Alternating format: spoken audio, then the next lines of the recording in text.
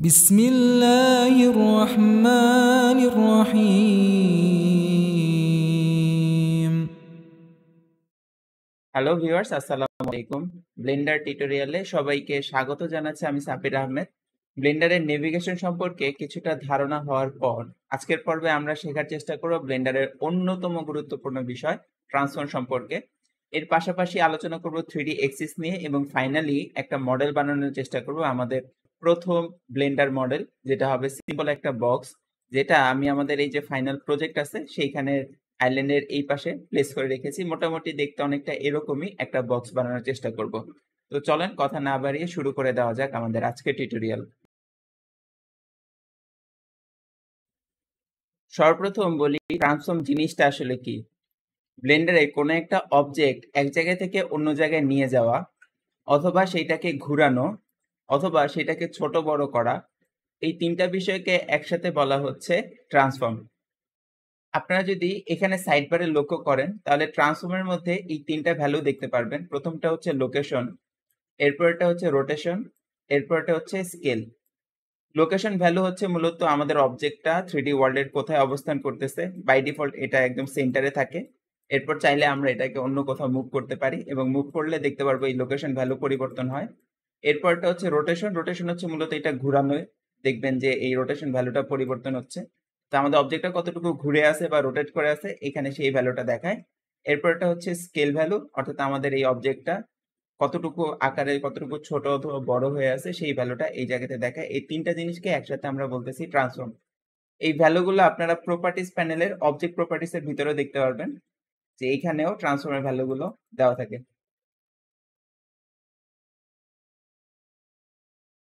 এখন চলেন দেখি আমরা এই ট্রান্সফর্মের ভ্যালুগুলা কীভাবে পরিবর্তন করব অথবা এই বিষয়গুলো আমাদের কাজে কীভাবে ব্যবহার করব। এক্ষেত্রে আমরা দুইটা উপায় দেখব। প্রথমটা হচ্ছে এই টুলবারের মাধ্যমে এবং দ্বিতীয়টা হচ্ছে শর্টকাটের মাধ্যমে। বিজ্ঞানের লেভেলে যদিও টুলবারটা সহজ মনে হয় বাট আলটিমেটলি আমরা প্র্যাকটিস করব শর্টকাটের মাধ্যমে বিষয়গুলো করার। কেননা এই বিষয়গুলো এত বেশি ব্যবহার করতে হয় যে আসলে বারবার এখানে টুলবারে এসে টুল চেঞ্জ করে করে কাজ করাটা বেশ মুশকিল হয়ে যাবে। বাট এনিওয়ে চলেন টুলবারটা একটু দেখে নিই। এখানে প্রথম যে টুলটা আছে, অর্থাৎ মুভ টুল আমি এটা একটু এক্সপ্যান্ড করি যেন নামটা দেখতে পারেন। প্রথম যে টুলটা আছে, এটার নাম হচ্ছে মুভ টুল আমরা যদি এটা সিলেক্ট করি, তাহলে দেখতে পারব যে আমাদের যে অবজেক্ট আছে, এই অবজেক্টটা যখন আমরা সিলেক্ট করব, তখন এইখানে তিন দিকে তিনটা তীর চিহ্নের মতো একটা সিম্বল চলে আসছে।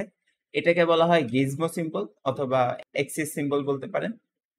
এটা আসার পর আপনি যদি কোনো একটা অ্যারোর উপর লেফট বাটনে ক্লিক করে এরপর মাউসটা ড্র্যাগ করেন, তাহলে দেখতে পারবেন আপনি যে অ্যারোতে ক্লিক করেছিলেন সেই অনুসারে আপনার অবজেক্টটা মুভ করতেছে। আমি এই পাশে রেড কালারের যে অ্যারোটা আছে সেটার উপর লেফট ক্লিক করলাম, এরপর মাউসটা ড্র্যাগ করতেছি। তাহলে দেখতে পারব আমার এই রেড অ্যারো বরাবর আমার অবজেক্টটা মুভ করতেছে। সো এইভাবে করে মুভ টুল সিলেক্ট করে আমরা কোনো একটা এক্সিসে আমাদের অবজেক্টটাকে মুভ করতে পারি। এবং যখনই আমরা আমাদের অবজেক্টটা মুভ করব, আমরা এখানে লোকেশনে দেখতে পারব যে আমাদের এই লোকেশনটা পরিবর্তন হচ্ছে এবং এই ভ্যালুগুলো পরিবর্তন হচ্ছে। এরপরের যে টুলটা আছে সেটা হচ্ছে রোটেট টুল এটা সিলেক্ট করলে দেখবেন আপনার যে গিজমোটা অ্যারো সিম্বল ছিল সেগুলো এখন রিং রিং এর মতো হয়ে গেছে। এখন যে কোনো একটা রিং এর উপর ক্লিক করে আপনি যদি মাউস ড্র্যাগ করেন তাহলে দেখতে পারবেন ওই রিং অনুসারে বা ওই এক্সিস অনুসারে আপনার অবজেক্টটা রোটেট করতেছে অথবা ঘুরতেছে। একইভাবে আপনি এখানে রোটেশন প্যানেলে দেখতে পারবেন আপনার অবজেক্টের ভ্যালুগুলো পরিবর্তন হচ্ছে। এরপরের টুলটা হচ্ছে স্কেল টুল এটা সিলেক্ট করলে সিম্বলটা এরকম হয়ে যাবে গিজমোটা এই অবস্থাতে আপনি যে কোনো একটা এক্সিসের উপর লেফট ক্লিক করে যদি মাউসটা ড্র্যাগ করেন, তাহলে সেই অনুসারে আপনার অবজেক্টটা ছোট অথবা বড় হবে। তো এই হচ্ছে মোটামুটি আমাদের এই টুলবার সম্পর্কে প্রাথমিক একটা ধারণা। বাট আলটিমেটলি আমরা আগেই বলতেছিলাম যে এই বিষয়গুলো আমরা শর্টকাটের মাধ্যমে করব। এখন চলেন সেটা প্র্যাকটিস করি। ট্রান্সফারের জন্য ফার্স্টে তিনটা শর্টকাট মনে রাখবেন। জি আর এস এটা অনেকটা জিপিএস এর মতো করে মনে রাখতে পারেন, যদিও মাঝখানে পি নেই, মাঝখানে আর আছে। বাট এ নিয়ে কাজ করতে করতে এগুলো আমাদের আয়ত্তে চলে আসবে, সমস্যা নেই। তো শর্টকাট শেখা শুরু করার আগে আপনাদেরকে একটা ছোট্ট টিপস দেই, সেটা হইতেছে যে আমি ব্লেন্ডার ইউজ করার সময় কখন কোন বাটন ব্যবহার করতেছি, আপনারা যদি এখানে নিচে রাইট সাইডে লক্ষ্য করেন, তাহলে দেখতে পারবেন। আমি যখন যেই বাটনে ক্লিক করি, সেটা এই জায়গাতে উল্লেখ করা থাকবে। সো কখনো যদি মনে হয় যে ভাই, এই মোমেন্টে আপনি কোন বাটনে ক্লিক করছিলেন বা কোন বাটনে ক্লিক করার কারণে এরকম হইল আপনারা তখন এটা এই জায়গাতে দেখে নিতে পারবেন। তো চলেন শুরু করি একটা একটা করে শর্টকাট শেখা। সর্বপ্রথম জি ব্লেন্ডারে কোনো একটা অবজেক্ট সিলেক্ট করে আমরা যদি সিম্পলি কিবোর্ড থেকে জি বাটনে ক্লিক করি, তাহলে দেখতে পারব আমাদের যে মাউসের কার্সর আছে, সেটা পরিবর্তন হয়ে চতুর্দিকে অ্যারো চিহ্নের মতো এরকম একটা সিম্বল হয়ে গেছে। এই অবস্থাতে আমরা যদি মাউসটারে মুভ করি, তাহলে দেখতে পারব আমাদের মাউসের কার্সরের মুভমেন্টের সাথে সাথে আমাদের অবজেক্টটাও মুভ করতেছে। অ্যাট দ্য সেম টাইম আমরা যদি আমাদের ট্রান্সফর্ম লোকেশনের ভ্যালুর দিকে লক্ষ্য করি, তাহলে দেখতে পারব আমরা অবজেক্ট মুভ করার সাথে সাথে এই লোকেশন ভ্যালুগুলো পরিবর্তন হইতেছে। এখন আমরা যদি আমাদের মাউসটা কোথাও স্টিল রেখে দেই অবজেক্টটা এই অবস্থায় স্টিল আছে, কিন্তু এরপর যদি আমরা মাউসটা আবার নাড়াই, তাহলে দেখব আমাদের অবজেক্ট আবার আমাদের কাছের সাথে সাথে মুভ করতেছে। অর্থাৎ এখন যতই মাউস নাড়াচ্ছি, আমাদের অবজেক্টটা মুভ করতেছে, এটা কোথাও যায় কিন্তু স্থির হইতেছে না। তাহলে এখন আমরা আমাদের অ্যাকশনটা কনফার্ম করব কীভাবে, অথবা এটাকে ক্যান্সেল করব কীভাবে? ব্লেন্ডার শর্টকাট সবগুলো শর্টকাটের ক্ষেত্রে মোটামুটি একটা কমন নিয়ম হইতেছে, আপনি যখন কোনো একটা শর্টকাট অ্যাক্টিভ করবেন, যেমন এই ক্ষেত্রে আমরা জিতে ক্লিক করে মুভমেন্ট শর্টকাটটা অ্যাক্টিভ করছি বা মুভমেন্ট অ্যাকশনটা অ্যাক্টিভ করছি, এরকম কোনো একটা অ্যাকশন অ্যাক্টিভ করার পরে আপনার কাছে থাকবে দুইটা অপশন হয় আপনি সেই অ্যাকশনটারে কনফার্ম করবেন অথবা ক্যান্সেল করবেন। কনফার্ম করার জন্য মাউসের লেফট বাটনে ক্লিক করতে হয় এবং ক্যান্সেল করার জন্য মাউসের রাইট বাটনে ক্লিক করতে হয়। অর্থাৎ আমরা এই যে জিতে ক্লিক করে আমাদের অবজেক্টটারে মুভমেন্ট করার জন্য এই অ্যাকশনটারে অ্যাক্টিভ করছি। এখন আমাদের অবজেক্টটা নতুন জায়গায় নিয়ে, আমরা যদি মাউসের লেফট বাটনে ক্লিক করি, তাহলে আমাদের অবজেক্টটা দেখতে পারতেছেন এই নতুন জায়গাতে প্লেস হয়ে গেছে। এখন যদি অ্যাট দ্য সেম টাইম আমি জিতে ক্লিক করে এটা মুভ করি মুভ করার পরে আমি যদি রাইট বাটনে ক্লিক করি, তাহলে আমাদের এই অ্যাকশনটা ক্যান্সেল হয়ে যাবে এবং আমার অবজেক্টটা সর্বশেষ যেই জায়গাতে ছিল, সেই জায়গায় ফেরত চলে যাবে। এভাবে করে প্রত্যেকটা শর্টকাটের ক্ষেত্রে শর্টকাট কমান্ড এক্সিকিউশনের পরে আমরা যদি লেফট বাটনে ক্লিক করি, তাহলে সেটা কনফার্ম হবে। যদি রাইট বাটনে ক্লিক করি, তাহলে সেটা ক্যান্সেল হবে। আর এখানে আরেকটা প্রশ্ন হইতে পারে যে, ভাই মুভমেন্টের শর্টকাট তো এম হওয়ার কথা ছিল। এটা জি কেন হইল? এখানে দুইটা বিষয়, যে প্রথমত জি যে লেটারটা আছে, এটা আমাদের যে বাম হাত, এটা সাত আঙ্গুলের খুব কাছাকাছি থাকে। যেহেতু এটা আমাদেরকে অনেক বেশি ব্যবহার করতে হয় এই জন্য কাছাকাছি থাকার কারণে এটা সুবিধা হয়। আরেকটা হইতেছে যে জিতে আপনি গ্র্যাব শব্দটা মনে রাখতে পারেন। গ্র্যাব শব্দের প্রথম বর্ণ হচ্ছে জি আর গ্র্যাব মানে কোনো কিছুকে এরকম আঁকড়ে ধরা, মুষ্টিবদ্ধ করে ধরা। সো আমরা জিতে ক্লিক করে ব্লেন্ডারে বলতে যে এই কিউব যেটা আছে বা এই অবজেক্ট যেটা আছে এটারে ধরো। এরপর আমরা মাউস মুভ করে করে আমাদের অবজেক্টটারে মুভ করতেছি। এরপরে শর্টকাটটা হইতেছে আর আর মূলত রোশনের জন্য ব্যবহার হয়। আপনি যদি প্রথম শর্টকাটটা বুঝে থাকেন, তাহলে এই শর্টকাটটা বোঝা আপনার জন্য খুবই সহজ। সিম্পলি অবজেক্টটা সিলেক্ট করে আমরা যদি আরে ক্লিক করি, তাহলে দেখবেন কার্সরটা পরিবর্তন হয়ে গেছে। এখন আমরা যদি মাউসটারে মুভ করি, তাহলে দেখতে পারবেন আমাদের কার্সর মুভমেন্টের সাথে সাথে সেই অনুসারে আমাদের অবজেক্টটাও রোটেট করতেছে এবং এইখানে রোটেশন ভ্যালুটাও পরিবর্তন হইতেছে। তো ভ্যালু পরিবর্তন করার পরে আমাদের কাছে দুইটা অপশন আগের বারের মতোই। হয় আমরা এটারে লেফট বাটনে ক্লিক করে কনফার্ম করতে পারি, অথবা রাইট বাটনে ক্লিক করে ক্যান্সেল করতে পারি, ফলে আমাদের রোটেশন সর্বশেষ যেটা ছিল, সেটা হয়ে যাবে। এরপরে শর্টকাট হচ্ছে এস এস ফর স্কেল অর্থাৎ আমাদের অবজেক্ট সিলেক্ট করে আমরা যদি এসে ক্লিক করি, তাহলে আমাদের কার্সর আগের বারের মতোই পরিবর্তন হয়ে যাবে। এরপর আমরা যদি কার্সরটা দূরে নিয়ে যাই, তাহলে অবজেক্টটা বড় হবে এবং কার্সরটা যদি আমাদের অবজেক্টের কাছাকাছি নিয়ে যাই, তাহলে অবজেক্টটা ছোট হতে থাকবে। এবং অ্যাট দ্য সেম টাইম আমরা যদি লেফট বাটনে ক্লিক করি, তাহলে এটা কনফার্ম হবে। এবং আমরা যদি স্কেল করার পরে রাইট বাটনে ক্লিক করি, তাহলে সেটা ক্যান্সেল হয়ে সর্বশেষ যে স্কেল ভ্যালু ছিল, সেটা হয়ে যাবে।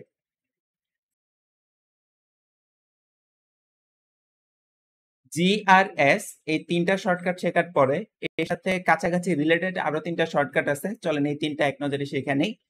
আমাদের কিবোর্ডে একটা বাটন আছে এ এল বাটন বা অল্টার বাটন ব্লেন্ডারে এই এ এল বা অল্টার বাটনটা কোন একটা কমান্ডের ক্ষেত্রে অল্টারনেটিভ বা বিপরীত কাজে ব্যবহার করা যায়।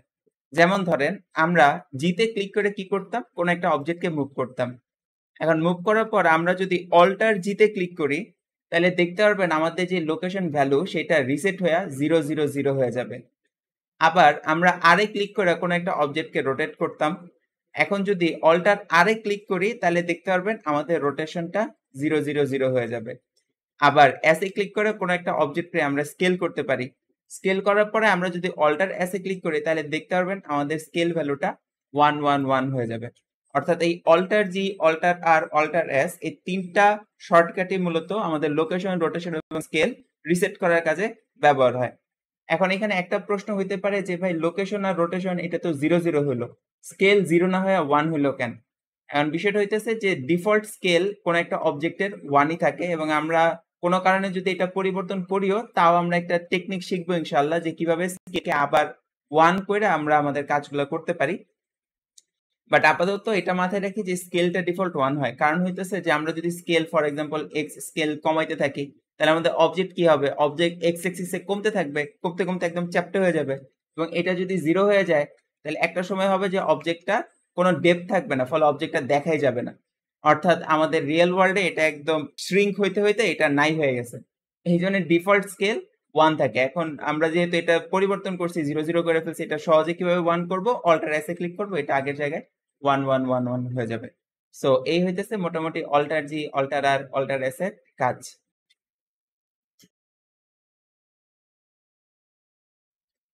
ট্রান্সফর্মের পরবর্তী শর্টকাটগুলো বোঝার জন্য আমাদেরকে থ্রিডি এক্সিস সম্পর্কে একটু ধারণা নিয়ে নিতে হবে। ফার্স্টে চলেন থ্রিডি শব্দটার সাথে একটু পরিচিত হই। থ্রিডি শব্দের মধ্যে যে ডি লেটারটা আছে, এটা দিয়ে মূলত ডাইমেনশন বোঝায়। বাট আপনি এক্ষেত্রে এটারে ডিরেকশন হিসেবে মনে রাখতে পারেন। অর্থাৎ থ্রিডি হইতেছে মূলত তিনটা ডিরেকশনের সমন্বয়। প্রথমটা হইতেছে এক্স ডিরেকশন দ্বিতীয়টা হইতেছে ওয়াই ডিরেকশন এবং তৃতীয়টা হইতেছে জেড ডিরেকশন আপনি যদি এর আগে লক্ষ্য করে থাকেন, আমাদের ট্রান্সফর্মের মধ্যে যে লোকেশন ভ্যালু ছিল সেইখানে এক্স ওয়াই জেড এই তিনটা ভ্যালু ছিল। রোটেশনের মধ্যেও এক্স ওয়াই জেড এই তিনটা ভ্যালু ছিল, এবং স্কেলের মধ্যেও এক্স ওয়াই জেড এই তিনটা ভ্যালু দেওয়া ছিল। এখন এই যে এক্স ওয়াই জেড এই তিনটা ডিরেকশন বা এক্সিস বা ভ্যালু আছে, এইটারে আমরা রিয়েল ওয়ার্ল্ডের সাথে কীভাবে মনে রাখতে পারি? এক্স অ্যাক্সিস এবং ওয়াই অ্যাক্সিস এই দুইটা জিনিস বোঝার জন্য সব থেকে সহজ যে এক্সাম্পলটা আপনার সামনে আছে সেটা হইতেছে আপনার কম্পিউটারের মাউস আপনার কম্পিউটারের মাউসটা আপনি যদি ডানে বামে মুভ করেন, তার মানে আপনি এটারে এক্স এক্সিসে মুভ করতেছেন। এক্ষেত্রে ডান দিকে নেওয়াটা হইতেছে এক্স প্লাস বাম দিকে নেওয়াটা হইতেছে X minus at the same time আপনি আপনার মাউসটা যদি সামনে পিছনের দিকে মুভ করেন, তার মানে আপনি এটারে ওয়াই এক্সিসে মুভ করতেছেন। এক্ষেত্রে সামনের দিকে নেওয়াটা হইতেছে ওয়াই প্লাস পেছনের দিকে নেওয়াটা হইতেছে ওয়াই মাইনাস অর্থাৎ এক্স এক্সিস হইতেছে মূলত আমাদের ডান দিকে বাম দিকে এবং ওয়াই এক্সিসটা হইতেছে আমাদের সামনের দিকে, পেছন দিকে। এখন এক্স আর ওয়াই এক্সিস তো বুঝলাম, তাহলে জেড ডিরেকশন কোনটা? এক্ষেত্রে সহজ এক্সাম্পল হইতেছে লিফট আমাদের বাসা বাড়ি বা মার্কেট প্লেসে যে লিফটগুলো থাকে সেইটা। এখানে আমি একটা ছোটখাটো মডেল বানানোর চেষ্টা করছি।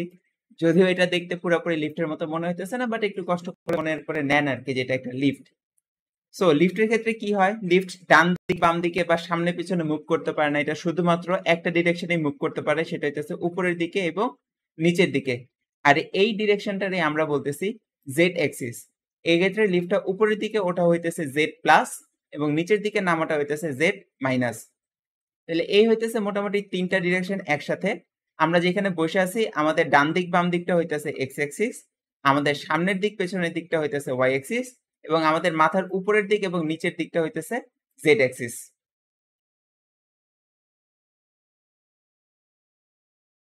থ্রিডি এক্সিস সম্পর্কে জানার পর এখন চলেন দেখি আমরা আমাদের এই নলেজটাকে কীভাবে কাজে লাগাতে পারি।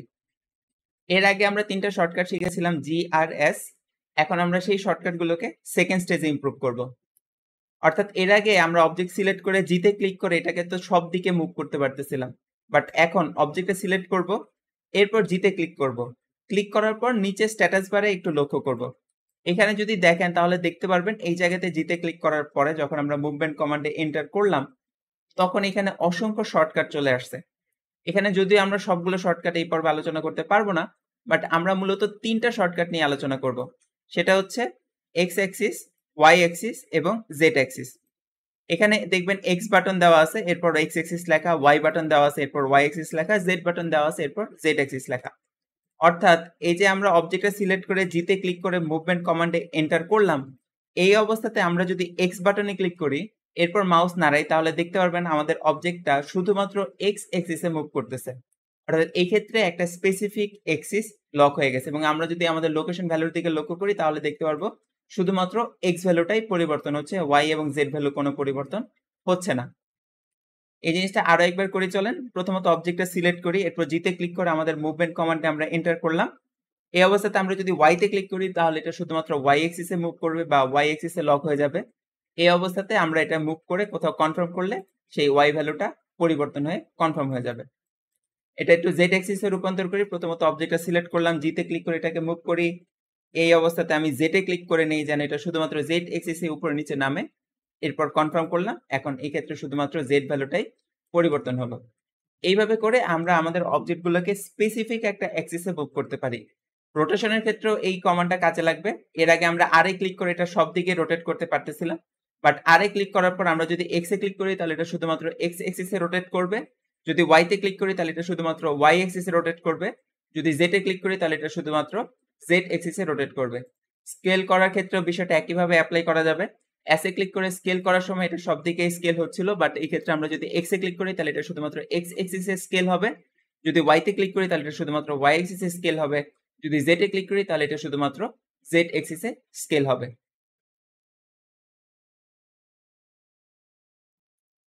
একটা জিনিস আমাদের প্রায় প্রয়োজন হয়, সেটা হচ্ছে শর্টকাট অ্যাপ্লাই করার সময় স্পেসিফিক ভ্যালু বসানো।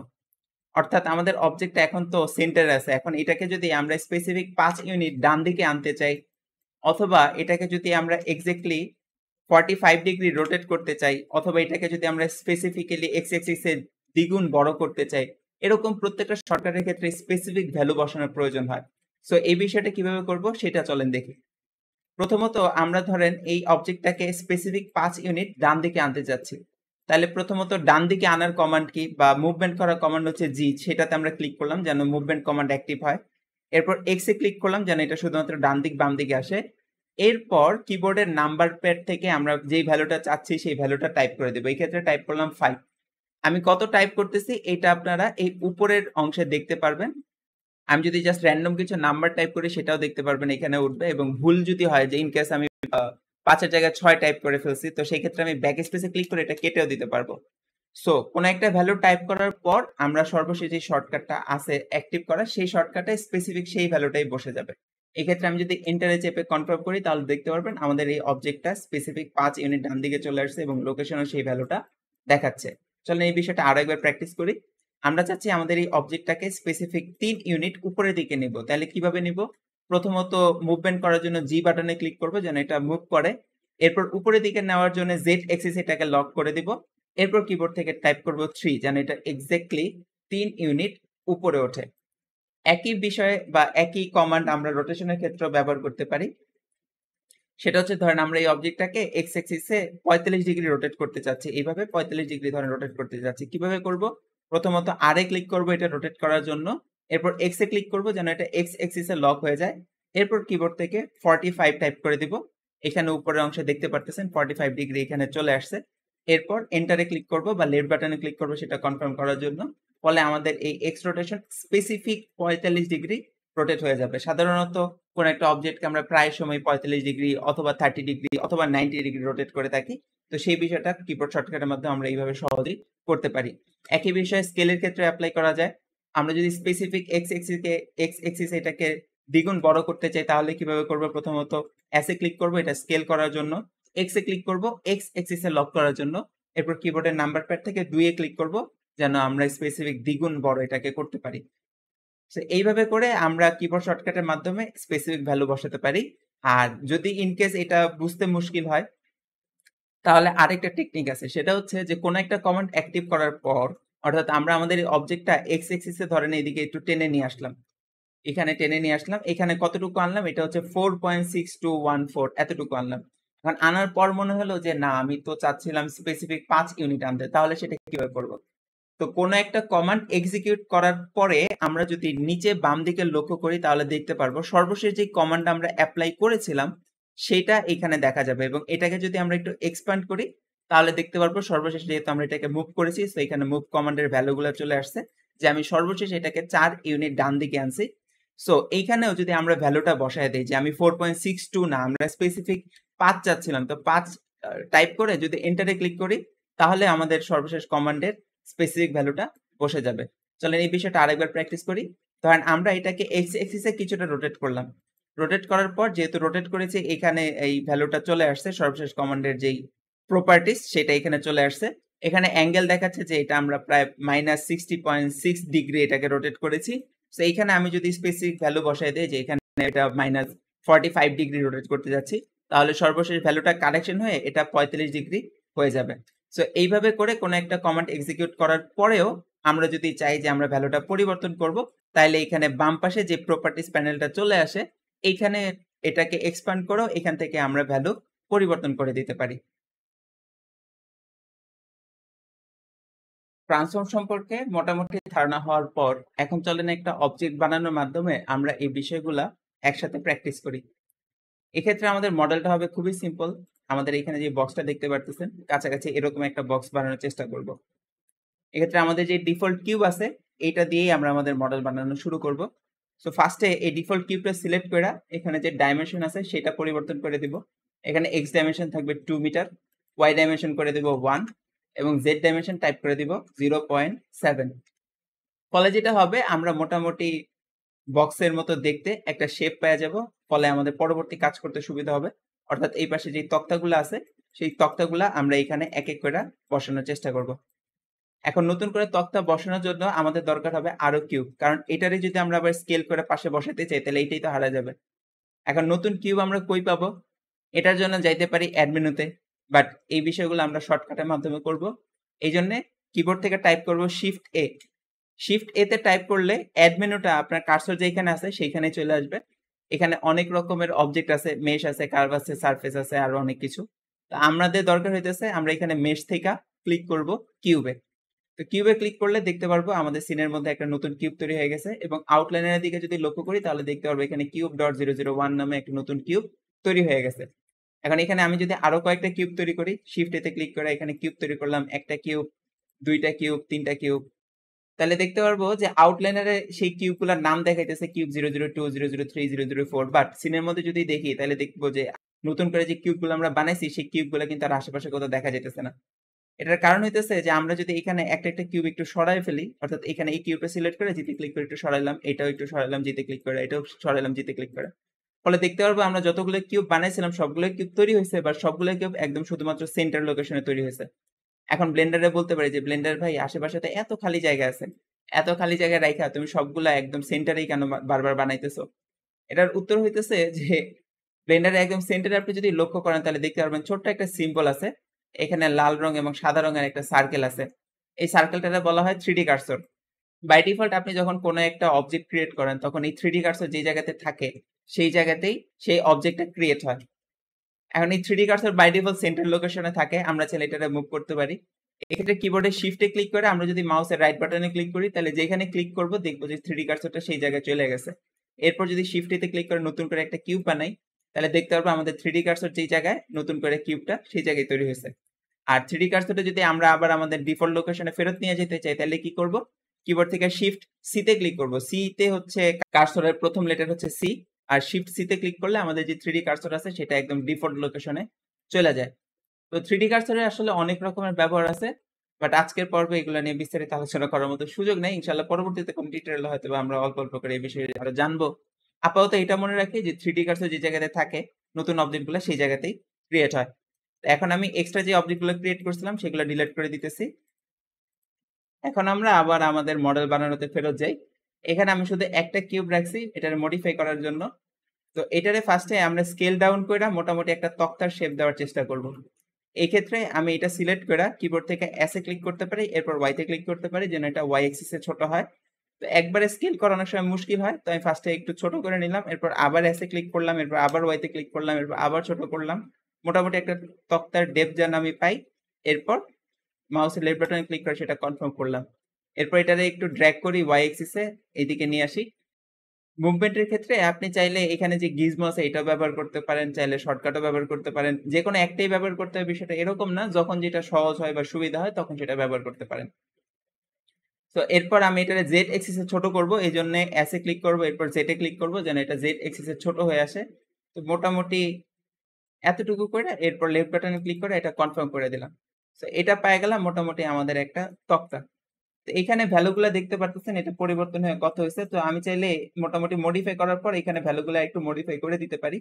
যে এখানে zero point zero two zero five zero six এরকম ভ্যালু দেওয়া আছে, তো আমি এটা করে দিলাম জিরো পয়েন্ট জিরো টু এরপর জেড ভ্যালু করে দিলাম zero point zero zero point two okay তো এটা হলো মোটামুটি আমাদের প্রথম তক্তার যে ডাইমেনশন সেটা। এরপর এটারে আমি ওয়াই এক্সিসে একটু ড্র্যাগ করে আমাদের যেই শেপ আছে ইনিশিয়াল শেপ বা মেজারমেন্ট সেটার কাছাকাছি নিয়ে যাওয়ার চেষ্টা করি, যেন এটা মোটামুটি এটা স্কিনের সাথে লাইগা থাকে। এই ক্ষেত্রে যেহেতু সবগুলো অবজেক্টের কালার দেখতে একই রকম, তো বুঝতে একটু অসুবিধা হইতে পারে। তো আমরা একটা জিনিস চাইলে মডিফাই করে নিতে পারি। সেটা হলো এখানে যে ভিউপোর্ট ডিসপ্লে আছে বা ভিউপোর্ট শেডিং আছে, এখানে যে অ্যারো চিহ্ন আছে এটাতে ক্লিক করতে পারি। এরপর এখানে যে কালার থাকে এটা বাই ডিফল্ট থাকে ম্যাটেরিয়াল এখান থেকে করে দিতে পারি র্যান্ডম তো র্যান্ডম করলে যেটা হয় যে, আমরা যখন কোনো একটা অবজেক্ট ক্রিয়েট করব, তখন প্রত্যেকটা অবজেক্টের আলাদা আলাদা একটা র্যান্ডম কালার এখানে দেখাবে। এটা করলে আপনার কাজের আলাদাভাবে কোনো পরিবর্তন নাই জাস্ট এটা দেখতে হচ্ছে সহজ হয়। আরও একটা জিনিস পরিবর্তন করতে পারি, এখানে ভিপোর শেডিং এর অ্যারোতে ক্লিক করে এখান থেকে ক্যাভিটিটা অন করে দিতে পারি, ফলে আমাদের এই যে এজগুলো আছে, সেগুলো স্পষ্টভাবে বোঝা যায়। এরপর এখানে ক্যাভিটিটা আমি আরেকটু পরিবর্তন করব ক্যাভিটির যে টাইপ আছে, এটা স্ক্রিন থেকে পরিবর্তন করে দেব বোথ এবং এটা যে ভ্যালে আছে এটা ভ্যালেটা এটা ভ্যালু আমি আরেকটু সাধারণত বাড়াই দিই। এটা by default I think one থাকে, এটা আমি জাস্ট বাড়াই দিই, এটা বুঝতে সহজ হয় আমার জন্য। তো এই হলো মোটামুটি একটা পরিবর্তন, আমাদের অবজেক্টগুলো দেখতে যেন সহজ হয় সেই জন্য এখন আমরা মোটামুটি আমাদের প্রথম যে তক্তা, সেটা বানায় ফেলছি, এটারে আমি একটু উপরের দিকে ড্র্যাগ করি। এখানে মোটামুটি প্লেস করলাম। এখন আমাদের মডেলটা যদি আমরা দেখি, তাহলে দেখতে পারব এই জায়গাতে তিনটা তক্তা আছে। সো আমাদের দরকার হবে আরও কিছু কিউব এখন আমি চাইলে আবার প্রথম থেকে ফুল প্রসেসটা ফলো করতে পারি, অর্থাৎ কিউব বানায় সেটারে স্কেল করে তারপর এটারে এখানে প্লেস করতে পারি। অথবা যেটা করতে পারি, যেহেতু আমাদের অলরেডি একটা তক্তা বানানো আছে, এটারই আমি ডুপ্লিকেট করে আবার নিচের দিকে বসাতে পারি। এখন ডুপ্লিকেট করার শর্টকাট কি? আমরা প্রথমত এই অবজেক্টটা সিলেক্ট করব, এরপর কিবোর্ড থেকে শিফট দিতে ক্লিক করব। তো শিফট দিতে ক্লিক করলে এটা ডুপ্লিকেট হয়ে যায়। এখন আমাদের কার্সর দেখব, আমরা পরিবর্তন হয়ে গেছে। এই অবস্থা যদি কার্সর মুভ করি, তাহলে দেখব আমাদের ডুপ্লিকেটের যে অবজেক্ট সেটা আমাদের কার্সরের সাথে সাথে মুভ করতেছে। এখনও পর্যন্ত কিন্তু আমি লেফট বা রাইট কোনো বাটনে ক্লিক জাস্ট সিম্পলি শিফট দিতে ক্লিক করছি। এখন এই অবস্থাতে আমি যদি আমাদের ডুপ্লিকেটেড অবজেক্টটা কোনো একটা দিকে নিয়ে যায় লেফট বাটনে ক্লিক করি, তাহলে সেটা সেই জায়গাতেই কনফার্ম হয়ে যাবে। বাট আমি চাইতেছি যে আমাদের অবজেক্টটা এক্সিস্টিং জায়গাতেই থাকুক। অর্থাৎ আমি শিফট দিতে ক্লিক করে ডুপ্লিকেট করলাম। ডুপ্লিকেট করে রাইট বাটনে ক্লিক করলাম। এখন রাইট বাটনে ক্লিক করলে আমাদের ডুপ্লিকেটেড অবজেক্টটা অরিজিনাল অবজেক্ট দুইটা সেম লোকেশনই থাকবে। এখন আমাদের এই যে আউটলাইনারে আমরা দেখতে পারতেছি যে দুইটা অবজেক্ট তৈরি হয়েছে এবং এটা একই জায়গাতেই আছে। এখন দ্বিতীয় যে অবজেক্ট অর্থাৎ যেটা ডুপ্লিকেট হয়েছে, সেটা সিলেক্ট করা আছে এবং সেটা গিজমো এখানে দেখা যেতেছে সো আমি জাস্ট এই গিজমোতে ক্লিক করে নিচের দিকে ট্র্যাক করে দেব। ফলে আমাদের এক্সিস্টিং যে তক্তাটা ছিল, সেটাও থাকবে আর ডুপ্লিকেট হওয়া যে তক্তাটা ছিল, আমরা সেটাও পাওয়া যাব। তো মোটামুটি এটা আরেকটু উপরের দিকে রাখি। এখানে এরপর এই জিনিসটা আরও একবার করব শিফট দিতে ক্লিক করব, এরপর রাইট বাটনে ক্লিক করে ছেড়ে দিব, যেন নতুন অবজেক্টটা এখানেই থাকে। এরপর আবার এই অ্যারোতে ক্লিক করে নিচের দিকে টান দিয়ে নামাই দিব। তো আমি এখানে আরেকটু অ্যাডজাস্টমেন্ট করতেছি, আমাদের যে শেপ আছে ইনিশিয়াল শেপ সেটার সাথে এগুলোর একটু অ্যালাইন করে দিতেছি। এটার জাস্ট একটু উপরে তুলি, এটার আরেকটু উপরের দিকে ড্র্যাগ করে দিতেছি। এটা মোটামুটি অ্যালাইনমেন্টের জন্য এটা স্পেসিফিক ভ্যালু হইতে হবে, বিষয়টা এরকম না। তো এই হয়ে গেল মোটামুটি আমাদের তিনটা অবজেক্ট বা তিনটা তক্তা, এক পাশের। এবং পরবর্তীতে ফাইনালি যে আমরা যদি এই অবজেক্টটা ডিলিট করে দিই, তখন দেখতে পারব যে আমরা বক্সের একটা সাইড পেয়ে গেছি। তো কন্ট্রোল জেটে ক্লিক করে আমাদের এই অবজেক্টটা ফেরত নিয়ে আসি। এখন একটা সাইডে তো আমরা এই অবজেক্টগুলো ক্রিয়েট করলাম। এখন দরকার হবে আরেকটা সাইডে এই অবজেক্টগুলো বসানো। এখন এটা করতে পারি যে এই অবজেক্টটা সিলেক্ট করে আমরা সেটা ডুপ্লিকেট করে এই পাশে নিয়ে আসতে পারি। পরেরটা সিলেক্ট করে আবার ডুপ্লিকেট করে এই পাশে নিয়ে আসতে পারি এবং এর পরেরটা ডুপ্লিকেট করে আবার এই পাশে নিয়ে আসতে পারি। এখন এইভাবে একটা একটা করাটা মুশকিল। তো একসাথে আমরা চাইলে এই তিনটারে সিলেক্ট করে ডুপ্লিকেট করতে পারি। এখন সেটা কীভাবে করব? এই জন্য আমরা যদি কিবোর্ড থেকে শিফট বাটনে চাপ দিয়ে ধরি এবং প্রথম তক্তাটা সিলেক্ট করি, তারপরে আরেকটা তক্তার উপর কার্সর নিয়ে লেফট বাটনে ক্লিক করি, তাহলে দেখতে পারব যে একসাথে আমরা মাল্টিপল অবজেক্ট সিলেক্ট করতে পারতেছি। জাস্ট সিম্পলি শিফট বাটনে ক্লিক করে আমরা যদি কোনো একটা অবজেক্টের উপর ক্লিক করি, তাহলে সেই অবজেক্টটা সিলেক্ট হবে। এখন এই তিনটা অবজেক্ট আমরা সিলেক্ট করলাম সিলেক্ট করার পরে শিফট ডিতে ক্লিক করলাম। শিফট ডিতে ক্লিক করলে এটা ডুপ্লিকেট হয়ে যাবে। এখন রাইট বাটনে ক্লিক করব যেন ডুপ্লিকেটের অবজেক্টগুলো এই জায়গাতেই থাকে। এরপর এই যে ওয়াই এক্সিস এর যে অ্যারোটা আছে, এটাতে ক্লিক করে ধরে আমি এখানে যে লেফট সাইডে ড্র্যাগ করতেছি। ফলে দেখতে পারবেন আমার এই যে নতুন করে যে তিনটা তক্তা আমি বানাইছি, এগুলো মোটামুটি এই পাশে চলে আসলো।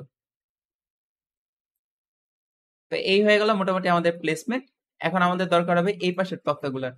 তো এই ক্ষেত্রে আমরা যেটা করতে পারি, আমাদের এই তিনটা যে তক্তা আছে, এই তিনটা তক্তা আমরা আবার সিলেক্ট করতে পারি। শিফট দিতে ক্লিক করতে পারি। শিফট ডিতে ক্লিক করে আমি এগুলারে ওয়াই এক্সিসে আর একটু দূরে নিয়ে আসলাম। এখন আমাদের অবজেক্টগুলো আছে এই জায়গায়, কিন্তু আমাদের অবজেক্টগুলো প্লেস করতে হবে এই জায়গায়। তাহলে ফার্স্টে আমরা কি করব জানেন? ফার্স্টে আমরা এই সবগুলো অবজেক্ট রে রোটেট করে নেব। এখন রোটেট করব কোন এক্সিসে যেহেতু এটা আমরা এইভাবে রোটেট করতে চাই সো এটা জেড এক্সিসে রোটেট হবে। এখন এই জন্য আমরা ফার্স্টে কিবোর্ড থেকে ক্লিক করব আর এটা রোটেট করার জন্য এখন এটা সব দিকে রোটেট হইতেছে। এরপর কিবোর্ড থেকে টাইপ করব এ, যেন এটা শুধুমাত্র জেড এক্সিসে রোটেট হয়। এরপর টাইপ করে দিব নাইনটি নাম্বার প্যাড থেকে নাইনটি টাইপ করলে দেখতে পারব এটা স্পেসিফিক নাইনটি ডিগ্রি রোটেট হয়েছে। এরপরে আমরা এটার এক্স এক্সিসে ফার্স্টে এইদিকে নিয়ে আসি। এরপরে আমরা ড্র্যাগ করে করে মোটামুটি আমাদের যেই শেপ আছে ইনিশিয়াল শেপ সেটার সাথে অ্যালাইন করার চেষ্টা করি। আমি এখানে টপ ভিউতে যাই নিলাম সেভেনে ক্লিক করে টপ ভিউতে যায় তারপর এটা অ্যালাইন করার চেষ্টা করতেছি। এক্ষেত্রে আমি জিতে ক্লিক করে তিনটার একসাথে মুভ করতেছি টপ ভিউ থেকে। এই হয়ে গেল মোটামুটি আমাদের অ্যালাইনমেন্ট এখন বিষয়টা হচ্ছে যে, এগুলোর সাইজ তো অনেক বড় বড়। এখন এগুলোর সাইজ আমরা ছোট করব কীভাবে? সিম্পলি এই তিনটা সিলেক্ট থাকা অবস্থায় কিবোর্ড থেকে এসে ক্লিক করব, এরপর ওয়াইতে ক্লিক করব যেন এটা ওয়াই এক্সিসে ছোট হয়ে আসে। তো এই মোটামুটি ছোট হয়ে আসতেছে। তো ছোট হইতে হইতে মোটামুটি আমাদের যে, এই পাশের তক্তা আছে সেটার বরাবর এটারে অ্যালাইন করে দেব। তো এই হয়ে গেল মোটামুটি আমাদের এই পাশের অ্যালাইনমেন্ট এখন এই পাশের তিনটা তক্তা কীভাবে বানাবো? আশা করি এটা আপনারা অলরেডি গেস করে নিতে পারছেন যে, আমরা এই তিনটা অবজেক্ট সিলেক্ট করব, এরপর শিফট দিতে ক্লিক করে ডুপ্লিকেট করব, এরপর এগুলারে ড্র্যাগ করব এক্স অ্যাক্সিসে এই পাশে। এক্ষেত্রে আমি টপ ভিউ থেকে একটু দেখে নেই এবং টপ ভিউ থেকে জুম করা তারপর যদি আমি এটারে জিতে ক্লিক করে মুভ করি, তাহলে আমার জন্য এটা সহজ হবে। এই হয়ে গেল মোটামুটি আমাদের এই সাইডের তক্তাগুলো। এখন আমি এই তক্তাটা রাখবে একটু ডিলিট করে আপনাদেরকে দেখাই। এই মোটামুটি আমাদের একটা বক্সের শেপ হয়ে গেছে। এখন শুধু নিচের সাইডের তক্তাগুলো বসাইতে হবে। কন্ট্রোল জেটে ক্লিক করে আমাদের শেপটা আমরা আবার ফেরত নিয়ে আসলাম। এখন নিচের পাশের তক্তাগুলোর জন্য প্রসেসটা সেম আমরা যে কোনো একটা তক্তা সিলেক্ট করি শিফট দিতে ক্লিক করে এটা ডুপ্লিকেট করি। ডুপ্লিকেট করে এখানে এগুলারে রোটেট করতে হবে, যেহেতু এটা মোটামুটি এইভাবে রোটেট করা একটা ফ্ল্যাট অ্যালাইনমেন্ট দিতে হবে। সো আমি এটা রোটেট করার জন্য সিম্পলি আরে ক্লিক করলাম, এরপর রোটেট করব এক্স এক্সিসে নাইনটি ডিগ্রি তো এই মোটামুটি নাইনটি ডিগ্রি রোটেট করলে এটা মোটামুটি নিচের অংশে যেই অ্যালাইনমেন্ট থাকবে সেই অ্যালাইনমেন্টে এটা চলে আসবে। এরপর এটা জেড এক্সিসে একটু নিচের দিকে নামায় আনি। এরপর আমি এটা ফ্রন্ট ভিউ থেকে আই থিঙ্ক নাম্বার প্যাডের তিনে ক্লিক করে আমি সাইড ভিউ থেকে এটা দেখতেছি। এরপর জিতে ক্লিক করে এটা মুভ করতেছি। মুভ করে মোটামুটি আমাদের অবজেক্টের যে তলানি, সেই তলানি বরাবর এটা নিয়ে আসব। তো সাইডের অবজেক্ট গুলাতে এইখানে যে গ্যাপ ছিল, সেটা একটু বেশি বেশি গ্যাপ রাখছি বাট নিচের গুলাতে গ্যাপটা একটু কম রাখব। এখন আমরা আমাদের ফাইনাল যে অবজেক্ট আছে, এই অবজেক্টটা একটু হাইড করে নিই। এটা হাইড করব কীভাবে? আমাদের অবজেক্টটা সিলেক্ট করে, এখানে যে আউটলাইনারে এখানে যে চোখ চিহ্নটা আছে এই চোখ চিহ্নটাতে ক্লিক করব, ফলে আমাদের এই যে মাঝখানের অবজেক্ট যেটা সিলেক্ট করা ছিল সেটা হাইড হয়ে যাবে। ফলে যেটা হবে আমরা সেভেনে ক্লিক করে যদি টপ ভিউতে যাই টপ ভিউ থেকে আমাদের এটা দেখতে সহজ হবে। এখন এই নিচের যে অবজেক্ট আছে এটা সিলেক্ট করা দরকার হলে অন্য পাশ থেকে দেখে এটা সিলেক্ট করে নেবেন। এটা সিলেক্ট করে আমি আবার টপ ভিউতে গেলাম। এখন শিফট দিতে ক্লিক করব ডুপ্লিকেট করার জন্য। এরপরে এই ওয়াই এক্সিস এর ভ্যালু এটাতে টান দিয়ে এটা উপরের দিকে নিয়ে আসব। আবার শিফট দিতে ক্লিক করব। ডুপ্লিকেট করার জন্য আবার উপরের দিকে আরেকটা নিয়ে আসব। আবার শিফট দিতে ক্লিক করব ডুপ্লিকেট করে আবার উপরের দিকে নিয়ে আসব। আবার শিফট দিতে ক্লিক করব ডুপ্লিকেট করে আবার উপরের দিকে নিয়ে আসব। যদিও এটা করার জন্য আলাদা প্রসেস আছে, আসলে অ্যারে মডিফায়ার বা ওটার বিষয়ে আমরা এখানে ব্যবহার করতে পারি বাট আপাতত যেহেতু আমরা ট্রান্সফর্ম নিয়ে কাজ করতেছি, সেটা প্র্যাকটিস করার জন্য এই প্রসেসে আমরা কাজ করব। তো এই হয়ে গেল মোটামুটি আমাদের তলানির যেই তক্তাগুলো, সেগুলো বসানো হয়ে গেল। এখন আরও কয়েকটা কিউব আমাদেরকে বসাইতে হবে, সেটা হইতেছে যে এই পাশের কর্নারে যে কিউবগুলো আছে, এই কিউবটা এবং নিচের এখানে যে জোড়া দেওয়ার জন্য কিউব আছে সেটা। তো নিচেরটাকে আমরা বসাই নিই, ফলে সাইড পরে সাইডেরগুলো বসাবো। তো নিচেরটা বসানোর জন্য নিচের যে কোনো একটা কিউবরে সিলেক্ট করলাম। এরপর শিফট দিতে ক্লিক করলাম। এরপর সেটারে নিচের দিকে ড্র্যাগ করে নিয়ে আসি। এইখানে। এরপর এটারে রোটেট করব। তো এটারে রোটেট করব আরে ক্লিক করে নাইনটিতে ক্লিক করলাম। জেড এক্সিসে জেড এ ক্লিক করলাম জেড এক্সিসে রোটেট হওয়ার জন্য। ফলে আমরা দেখতে পারব এটা যে জেড এক্সিসে রোটেট হয়ে গেছে। এটা যেন এটার সাথে স্পর্শ করে থাকে এই জন্য এটা আরেকটু উপর দিকে নিয়ে যাই। এরপরে এটারে স্কেল করব। এক্স এক্সিসে ছোট করে দিব। এস এ ক্লিক করলাম ওয়াইতে ক্লিক করলাম। এরপর এক্স এক্সিসে এটারে মোটামুটি ছোট করে দিলাম। এরপর এই পাশে এটারে আরেক, আরও দুইটা ডুপ্লিকেট করে বসাই দেবো। শিফট দিতে ক্লিক করলাম, এরপর এক্স এক্সিসের অ্যারোতে টান দিয়ে ধরে এটা এই পাশে নিয়ে আসলাম। আবার শিফট দিতে ক্লিক করলাম এক্স এক্সিসে অ্যারোতে ধরে এটারে এই পাশে নিয়ে আসলাম। এটা স্পেসিফিক কোনো মেজারমেন্ট নাই, একটু এলোমেলো হলেও সমস্যা নেই, আপনারা জাস্ট প্র্যাকটিস করবেন। তো এই হয়ে গেল মোটামুটি নিচের তক্তাগুলা।